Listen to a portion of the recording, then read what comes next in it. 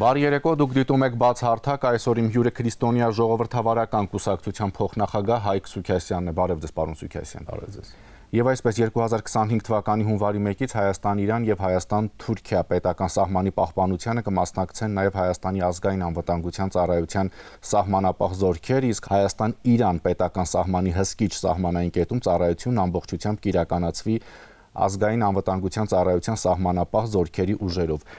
Այս առումով քաղաքագետները սա համարում են լուրջ ձեռքբերում, բայց կխնդրեմ ձեր տեսակետը։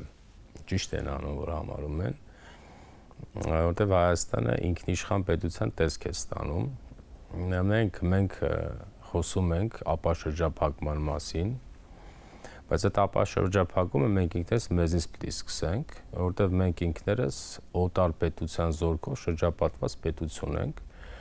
Այդ օտար պետությունն էլ parze որ ձևական ճշմարտություններով իբրև տարածաշրջանի անվտանգություն, Հայաստանի անվտանգություն։ Այսինքն ագրեսիվ պետություն է հարևան պետությունների դեմ։ Դեպի այդ հարևան պետությունները իրենք շահագրգռված էլ չեն Հայաստանի այդ ապաշրջափակման, որովհետև կա օտարպետության զորք։ Հիմա Հայաստանի Հանրապետությունը, որսի կարողանա ապաշրջափակման գնալ կոմունիկացիաների, ինքը իրեն պետք է ապաշրջափակի օտարպետության զորքից, որը մենք անում ենք որը շատ շրջադարձային նշանակություն ունի, այտենց հայությունը թեթև է նայում էս իրադարձությանը, բայց սա հսկայական տեղաշարժ է նախ մեր որպես պետություն ինքնիշխանություն ապահովելու, պրոգրեսը ապահովելու, նաև անվտանգության որոշակի հնարավորություն ունենալու համար։ Մենք օրինակ Հայաստան-Իրան սահմանում տեղադրված ռուսական զորքի ներկայության համար ոչ մեկից բացատրություն չենք լսել։ Հայաստան-Թուրքիա սահմանում Ռուսաստանի ներկայությունը մի քիչ բացատրում են, փորձենք այդ բացատրողներին մի քիչ էլ հասկանանք։ Իսկ Հայաստան-Իրան սահմանում ինչ են բերել խցկել, որ հիմա էլ Հայաստանը տարապի, որ այդ զորքը հանի։ Բայց ամեն դեպքում երևույթը շատ լավ է, ողջունելի է։ Մենք հետագայում նաև կարողություններ ենք, չէ՞ դե ասում, կարողությունների ձեռբերման պարագայում նաև ընդհանրապես պետք է 100%-ով վերցնենք մեր վերահսկողության տակ Հայաստան-Թուրքիա սահմանը կա տեսակետ, որ այս ամեն ինչը բերելու է հանգեցնելու նրան, որ ժամանակի ընթացքում Հայաստանի տարածքից դուրս կբերվի նաև ռուսական 102-րդ ռազմաբազան։ Կարծում եք։ Դա տեսակետ չգիտեմ, բայց դա պարտադրանք է մեզ համար նայեք, եթե իշխանությունը որթեգել է խաղաղության ինչ-որ դարաշրջան, այդ դարաշրջանը կապցրած է, էլի։ Դարաշրջանը որս է, խաղաղություն ամեն դեպքում փորձ հաստատելու համար դուք չեք կարող ունենալ օտար պետության զորք ձեր մարմնում, ընդ որում դուք էլ խաղաղություն քարոզեք խաղաղություն մենք ենք չէ ուզում, բայց խաղաղություն, որ դուք ուզում եք, ո՞նց եք կարող խաղաղություն ապահովել մի պետության զորքի ներկայությամբ, որը տարածաշրջանում կոնֆլիկտների սիրահար է, որը ավտորիտար պետության զորք է, որը աշխարհի կարգը չի ընդունում, որը թիրախավորված է աշխարհի կողմից, հետեւապես པարզ է, որ դա էլ պետք է տեղ ունենա ինչքան հնարավոր է շուտ, որովհետև նախ ընդհանրապես մենք այդ զորքի գոյությունը Հայաստանում փորձարկել ենք։ Մեր դարը փորձը ցույց է տալիս, որ այդ զորքը մեր անվտանգությունը ապահովելու համար չի դա ռուսական սապոկ է տեղը արել իր համար ժամանակին նստած էին ենթադրենք օրինակ Շուշիում վերահսկում էին ամբողջ արևելքը այնտեղից շպրտվել են դուրս հիմա եկել են այստեղ դե այստեղ վաղուց կային բայց իհարկե պետք է նկատի ունենք որ Գյումրիում Ռուսաստանի ռազմաբազան Ռուսաստանի Մերձավոր Միջին Արևելքում պաշտպանական համակարգում կարևոր նշանակություն ունի Ռուսաստանի համար, որի գինը մենք ոչ ուզել ենք, ոչ էլ ստացել ենք։ Բայց դա Ռուսաստանի գործն է։ Եթե մենք ուզում ենք խաղաղ կյանք, անվտանգություն, պրոգրես, տարածաշրջանում հարաբերությունների գոնե մինիմում հարևան պետությունների հետ, ապա մենք այստեղ ռուսական զորք ունենալ չենք կարող։ Ես ասել, որ իհարկե կլինի ողջ լալա հարաճ ինչ-որ մի հատվածի, դա Ռուսաստանի նաև Ռուսաստանի հուշով ապրող մի հատվածի համար բավոր, բավոր, բավոր, այդպեսի բան չկա։ Եթե դուք ուզում եք տարածաշրջանում անվտանգություն, նաև Թուրքիայի ագրեսիայի զսպում դուք այստեղ ռուսական զորքը պետք է անեք։ Հետևաբար ճիշտ է տեսակետները, բայց դա ոչ թե դիլինի կարծում ենք, ուզում ենք, դա դիլի պարտադրանք մեզ համար։ Պարոն Սուքեսյան, տեսեք, մենք մի կողմից խոսում ենք ապաշրջափակումից, ինչպես դուք ասացիք, բայց դեռ ունենք օտար պետության զորք Հայաստանում։ Այսինքն ստացվում է, որ այս պահի դրությամբ դեռ պետք է իրականացվի սխալների ուղում, այն սխալները, որոնք ժամանակի ընթացքում թույլ են տվել եւ այդ զորքերը հայտնվել են կամ սահմանին կամ այդ ռազմաբազան Գյումրիում դեռ պետք է այդ սխալների ուղման գործընթացով գնալ հետո նոր, չէ, ինչ որ մյուս ծրագրերի մասին խոսել։ Այո, ընդ որում կարծեմ դա սխալ չի եթե սխալ տերմինը օգտագործենք, մարդկանց ոչրագործությունը մեղմանում են։ Դա սխալ չի, սխալ դուք էլ կարող եք անել, իրենք ոչ իրեն գործել։ Բերել են օրինակ Հայաստան-Իրան սահմանում տեղակայել են ռուսական զորք եւ փչացրել են Հայաստան-Իրան հարաբերությունները։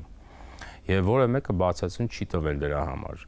ես առիթ ունեցել եմ ասելու, հիմա էլ եմ ասում, մենք ունենք հայ ժողովրդի դարերի խորքից մի հատ իր վրա գրված հիմնադիր նախագահ։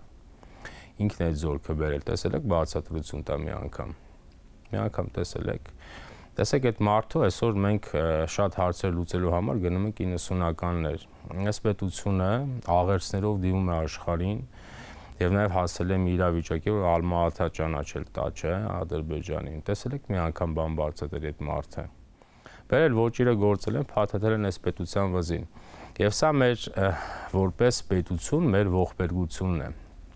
օրինակ նայեք ասենք եվրոպական երկրները նախագահները ասենք հրաժարականից հետո դասախոսություններ են կարդում, սեմինարներ են կազմակերպում, ասենք մենք գնել ենք Ֆրանսիայում Վալերի Ժիսկար դեստենի կեցավայրը որպես մեզ համար դեսպանատուն չէ։ Վալերի Ժիսկար դեստենը իր նախագահությունից հետո ամբողջ Ֆրանսիայում դասախոսություններ է կարդում։ Սրանք որ պաշտոնի չեն լինում, հետո սկսում ես ասես բանը, սալյարկի փողը բեր դուր, չգիտեմ, ես ինչ ես արել ես Հայաստան Իրան սահմանը, սա, սա, սա մեր իրադրությունը սա է։ Դե համար այո, ճիշտ է, ինչ եղել եղել է։ Մենք որպեսի կարողանանք ապաշրջափակում ուզենալ, մենք ինքներս պիտի մեզ ապա շրջափակենք, որտեղ մեր մարմինը որպես պետություն փակված է ռուսական շղթաներով։ Եվ ասեմ, արիթ ունեցել եմ, հիմա էլ եմ ասում, օրինակ եթե ցանկություն կա Թուրքիայի հետ հարաբերությունների կարգած սահման բացելու, եթե զորք չանի չեն բացելու, բացառվում է։ Ինչու։ Որովհետև Ռուսա Թուրքիան Հայաստան, Ռուսաստան սահմանը չի դիտարկում Թուրքիա Հայաստան սահման։ Նա Հայաստան Թուրքիա սահմանը դիտարկում է Ռուսաստան Թուրքիա սահման։ որտեղ այդտեղ կանգնած է ռուսական զորք։ Դրա համար է նաև այսինքն պատճառներից մեկը դա է, որ Թուրքիան հաստատ հակված չի։ Իհարկե նաև խոշոր պետություն է, իրենց մենք իրենց տեսադաշտում չկան, բաներ կան, պետք է նկատի ունենանք։ Հայկական մեծախոսություն դնենք մի կողմ բայց ամեն դեպքում գլխավոր հարցերից մեկը դա է, որտեղ ձեր օտար պետության զորք է, որը նաև եթե պատմությունով նայենք, իսկ այդ պետությունները մեր նման չէ, այդ պետությունները պատմությունով են նայում այդ հայության մի հատվածն է պատմությունը դնենք մի կողմ ինչ-որ բաներ անել։ Իրեն գիտեն, որ Ռուսաստանը 12 անգամ այստեղից արշավել է Թուրքիայի վրա։ Սա այս տարածքը ագրեսիայի տարածք է Թուրքիայի դեմ։ Դրա համար նա որպես տարածք եւ որպես պետություն մեզ թիրախավորել է։ Հիմա եթե մենք ուզում ենք դա կարգավորել, շատ բաներ, ապա պետք է սկսենք այդ զորքը այստեղից անելու գործընթացով։ Այսինքն կարծում եք ապաշրջափակման գաղափարը, ծրագիրը, ցանկությունը կամ խաղաղության խաչմերուկ ծրագիրը նախաձեռնությունը իրականություն դարձնելու համար նախ եւ առաջ պետքա ռուսական զորքի, ռուսական ներկայությունից հրաժարվենք։ Դե որովհետեւ դրա այդ խաղաղության խաչմերուկը իր փիլիսոփայության մեջ այդ պահանջը ունի։ Չեք հանում ոչ խաչմերուկ էլ չի ներու։ Ես ընդհանրում եմ այդ Հաղության խաչմերուկը իհարկե հայկական օրակարգ է, բայց ես ենթադրում դա միջազգային կոնսենսուսով ստեղծված օրակարգ է։ Եվ այդ օրակարգի մեջ հաստատ մասնակցել են արևմտյան պետությունները, հաստատ համախոհ է Իրանը, նաև Հնդկաստանը։ Ենթադրում եմ այդ պետությունները նաև պարտադրանք ունեն մեր նկատմամբ, որ մենք պարտավոր ենք որպեսի այդ ապաշրջապակումները ռուսական զորքը անենք ուրիշ տարբերակով դուք այստեղ խաղաղության խաչմերուկ ստեղծել չեք կարող։ Դուք կարող ստեղծել խաչմերուկ։ Այ կարակ դա։ Ինչ խաչմերուկ է, ով գիտի բայց խաղաղության խաչմերուկ չի կարող լինել։ Հետևաբար մենք ճիշտ ենք անում։ Իհարկե բարդ է մեր վիճակը։ Տարիների կուտակված խնդիրներ կան, այդ խնդիրները լուծելով մենք գնում ենք առաջ, որից մեկը հենց սա է։ Խաղաղության խաչմերուկ նախագծին Բաքուն դեմ է կամ գուցե եթե անգամ դեմել չէ, որոշակի մտահոգություններ ունի եւ վերջերս անգամ վարչապետ Փաշինյանն ասաց, որ դա կարող է մտահոգել Ադրբեջանին, որ այդ տասնյակ միլիարդ դոլարները կարող են օգտագործվել Հայաստանի պաշտպանունակությունը բարձրացնելու համար։ Այսինքն այստեղ նաեւ խաղաղության խաչմերուկի հետ կապված Ռուսաստանից գուցե կամ Ադրբեջանից ոչ դրական արձագանքներ կան։ Հա, իհարկե կան։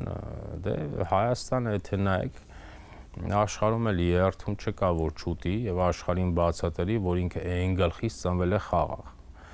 բայց դե հիմա մի հատված հավատում է, մի հատված չի հավատում, մի պետությունի մի խումբ չի ուզում հավատա, մի պետությունի մի խումբ էլ ֆունկցիա ունի չհավատալու։ Այդ խմբի մեջ են գլխավորապես Ռուսաստանը եւ Ադրբեջանը։ Իրենք ոչ թե հատուկ գաղափարին չեն հավատում, իրենք չեն ուզում Հայաստանի ապաշրջափակում, ուսի Հայաստանը տարածաշրջանում մնա անկլավ։ Մենք որպես պետություն անկլավ ենք տարածաշրջանում։ Որտեղ վերջը պետք է հասկանանք ինչ է նշանակում տարածաշրջան ինչ է դա տարածաշրջանը կոմունիկացիաներով հաղորդակցությամբ կապերով իրար կապված պետությունների խումբ է հիմա եթե մենք նայենք մեր մենք այս տարածաշրջանից դուրս մնացած պետություն ենք մի երկու հատ ցտից ճանապարհ է մնացել կիս մի քիչ աշխատում մի քիչ չի աշխատում Լարսը մի օր որոշում են, որ պիտի մի օր չէ, ասենք ձմեռը մի երկու ամիս պիտի վերանորոգեն, այդտեղ մեր ֆորերի վարորդների ներվերն են ուտում, վարացիները եւ ռուսները, տարբեր են, հազար խնդիրներ կա։ Դա համար ճիշտ է, այդ պետությունները շահագրգռված չեն։ Նախ իհարկե շահագրգռված չեն, որովհետեւ մենք չզարգանանք, շահագրգռված չեն նաեւ, որպեսի տարածաշրջանում լինի խաղաղություն։ Դրանով գլխավորապես հետաքրքրված չէ Ռուսաստանը, եւ պարտավորություն ունի հետաքրքրված չլինելու նաեւ Ադրբեջանը եւ այդ պարտավորությունը ինքը ունի Ռուսաստանի Քին համագործակցության շրջանակում է այդ ամեն ինչը տեղավորվում ռուս-ադրբեջանական։ Այո, նախ ընդհանրապես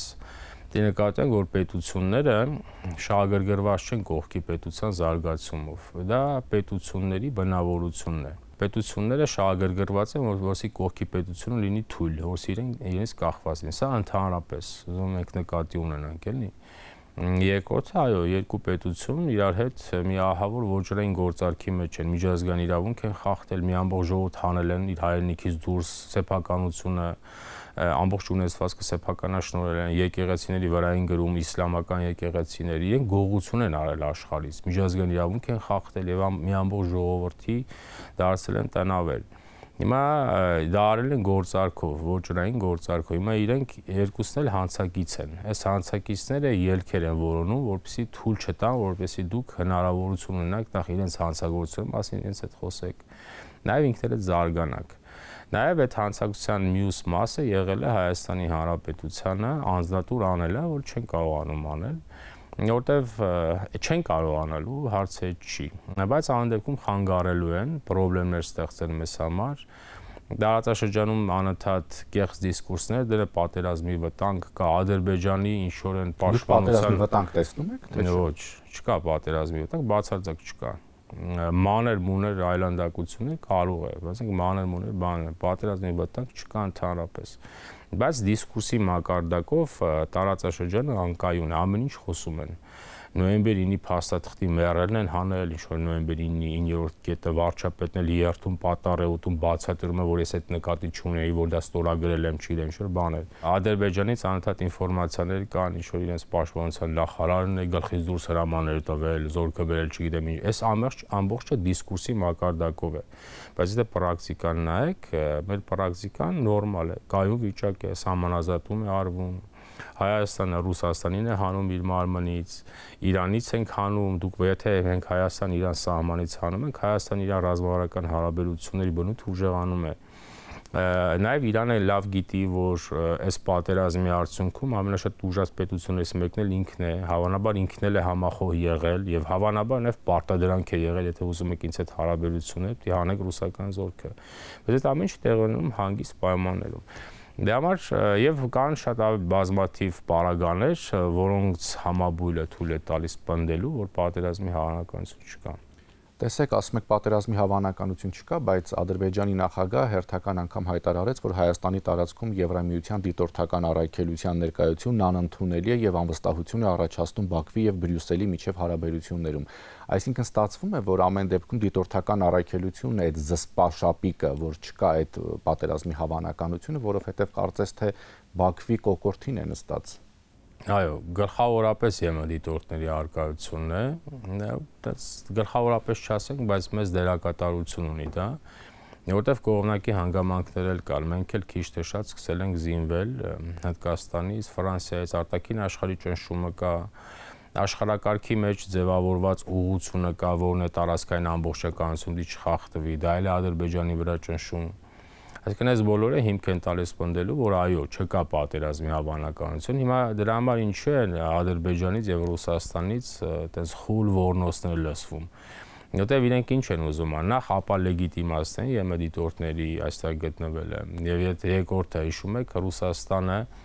մեզնից բարձավ անցավ Իրանին։ Իրանին բացատրում են այն հազարամյակների պարսիկներին, էլի, թե որն է Իրանի շահը, եւ Իրանին բացատրում են, որ ԵՄ դիտորդները Իրանի դեմել է, Եվ այդպես շարունակում փորձում են հնարավորություն ելքեր որոնել, որպեսզի Հայաստանին թողեն մերկ առանց պաշտպանական բարձիկների, որսի կարողանան իրենց որջիրը անեն, ինչ որ որոջում են։ Բայց դրա հավանականություն չկա։ Մենք տեսնում ենք, մենք համառորեն այդ ամեն ինչը հաղթարելով գնում ենք։ Դա դժվար է, դա երկարատև է հայության մի հավես մի հատված էլ հավես չունի երկար սպասելու, չէ, որովհետև դա հայկական բնավորություն է, արագ պահանջներ դնել, լուծելու 40000 տարվա խնդիր երկար սպասելուց խոսեցիք, այս դեպքում հարցնեմ, խաղաղության պայմանագրի ստորագրումը հավանական համարում եք, թե չէ։ Հայաստանն հայտարարում է, որ ըստ էության 80%-ը համաձայնեցված է խաղաղության պայմանագրի տեքստի, բայց Ադրբեջանն ասում է, որ խաղաղության համաձայնագրի բոլոր կետերը հավասար արժեք ունեն, մեկը մյուսից չի կարելի առանձնացնել, այսինքն մինչև ամբողջապես համաձայնեցված չլինի ոչ մի խաղաղության փաստաթուղթ։ Նայեք, խաղաղության պայմանագրի կնքման հավանականություն կա եւ մեծ է հավանականությունը։ Բայց ես մեզ առաջարկում եմ մեր ամբողջ ներվերը գիտելիքը, հոգևոր, մտավոր, ֆիզիկական լարումը չողորթել դեպի այդ մի փաստաթղթի կնքելը։ Մենք նայենք process-ին, որտեղ գլխավորը արդյունքն էլ չի, գլխավորը process-ն է։ Հիմա տեսեք, իրենք ասում են, այս չպետք է անեն, խաղաղության պայմանագիր չպետք է կնքվի, բայց մենք նայենք ինչեր են կարել, 13 հատ կետ համաձայնեցված է 17-ից 16-ից, արել են թե չէ։ Գլխավոր արդյունք գործընթացն է ինչ են կարել սահմանազատում որոշակի տեղերում անում ենք, անում ենք։ Հետևաբար այս գործընթացը ցույց է տալիս, որ դրա հավանականությունը շատ մեծ է, բայց մենք մեր ուշադրությունը կենտրոնացնենք process-ների վրա։ Իսկ process-ները դրական դինամիկա ունի։ Եթե նայեք եւ մեզ որպես ժողովուրդ առաջարկում եմ չվերցնել մի հատ հարց, այդ հարցի վրա կենտրոնալ, որտեղ հայություն այն գլխից ծնվել է խնդրով ծնվել է խնդրեմը տվել են ձեռը, այս խնդրեմը լուծի 30 տարի Ղարաբաղի հարցեր գնաց, 30 տարի այդ հարցով ոչ լուծեց, ոչ գնաց, հետո Հիմա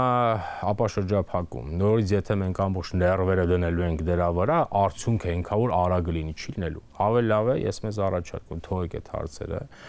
process-ին հետևենք, գլխավորը մեզ համար դա է, իսկ process-ը դրական դինամիկա ունի եւ ագիշեր ցերեկ աշխատենք պետության պոտենցիալը բարձրացնելու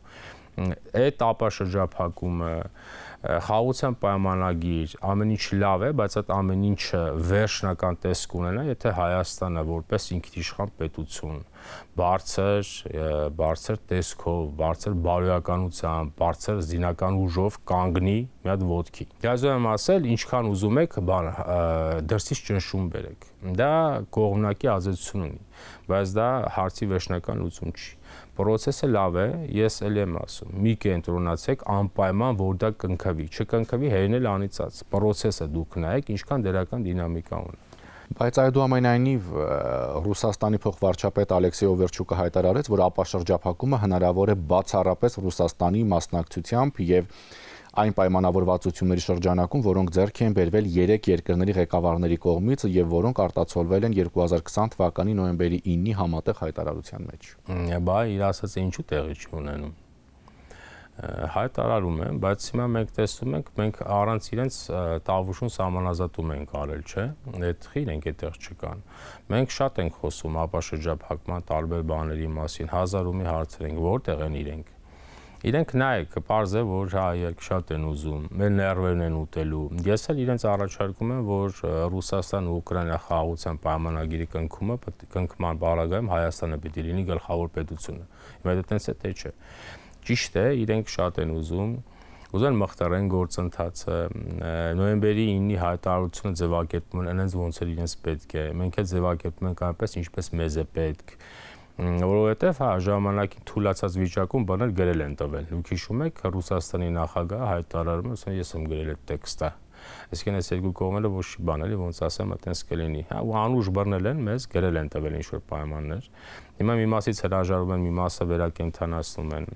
Մի մասով էլ parz է շատ են ուզում, որ իրենք կանգնեն մեր կոմունիկացիաների գլխին, որովհետև Ռուսաստանը ամբողջ աշխարհից մեկուսանում է այդ պետությանը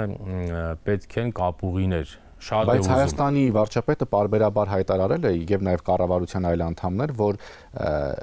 ամեն ինչ պետք է իրականացվի Հայաստանի իրավազորության հիման վրա եւ ա ճիշտ է արել եւ այդպես էլ տեղի ունենում ինչքան էլ իրանուսները համառում են որ մենք կանք մեզ հետ պայմանագիր եք ստորագրել որը իրենք չեղարկել են դա Ռուսաստանի բնավորությունն է պայմանավոր մի բան անել ճիշտ հակառակը եւ հա իրենք եթե Հայաստանի Հանրապետությունը խելքը գլուխը չհավաքեր եւ այս ընթացքում որոշակի աշխատանք չաներ, եւ այդ միջանցքը վերցել բացել էին։ Ոչ էլ որը բան էին բանակցել։ Եթե Հայաստանի Հանրապետությունը լիներ իսկապես անուշ չփորձեր ԵՄ դիտորդներ բերել, չփորձեր դիվերսիֆիկացնել իր զենքի զինամթերքի գնման հնարավորությունները, Պարզը որ կլիներ այն ինչ որ կլիներ, եթե նաև չլիներ Ուկրաինան, որը ռուս-ուկրաինական պատերազմ, բայց պարագաները մեզ օգնել են, մենք էլ որպես պետություն որոշակի աշխատանք են կատարել։ Դրա համար հիմա Ռուսաստանը այստեղից դուրս է գալիս։ Տեսեք, իրենք ինչ են ասում, ասում են ապաշրջափակումը մեզ մենք պետք է անենք, բայց իրենք Հայաստան Իրանի սահմանից դուրս են գալիս։ Ասում են ապաշրջափակումը մենք պետք է անենք, բայց զվարթնոցից դուրս են գալիս։ Ապաշրջափակումը միայն մենք պետք է անենք, բայց Հայաստան-Թուրքիա սահմանն արդեն մեզ օրգնել է կանգնելու։ Դեպապես դիսկուրսը մի բան է, գործը մի բան է։ Թող խոսեն, թող շատ խոսեն որպեսզի նաև մեր ժողովրդի մոտ Ռուսաստանի վերաբերյալ պատկերը վերջնականանա, որտեղ մի հատված կա համառորեն դեռ չի հավատում Ռուսաստանի որպես Հայաստանի իսկական թշնամի պետության։ Հիմա ես չեմ ասում, որ մեր մենք պետք է այդպես վերաբերվենք, բայց դուք իմանաք, որ ինքը այդպես է գործում դա էլ կձևավորվի եւ մենք էլ համառորեն կաշխատենք։ Ուզում եմ ասել, սա երկար շնչառության գործընթաց է, շատ դարելի չէ, բայց ամեն դեպքում չպատրաստվեք բոլորը մենակ արդյունքը լինի։ Գործընթացը ինքնին դրական է։ Շնորհակալություն։ Խնդրեմ։ Իշխեցնեմ իմ հյուրը Քրիստոնյա ժողովրդավարական կուսակցության փոխնախագահ Հայկ Սուքեսյանն է։ Շնորհակալություն ուշադրության համար, հաջողություն։